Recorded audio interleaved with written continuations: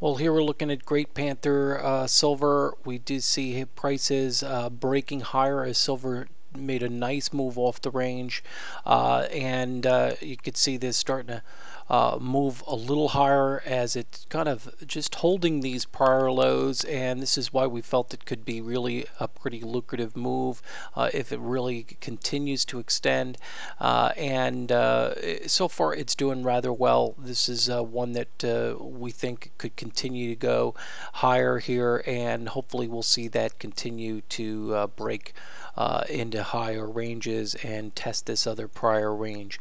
Uh, we need to see it break over 61 cents. I think that's going to that's initial resistance, and uh, any break there, I think we see this extend much further.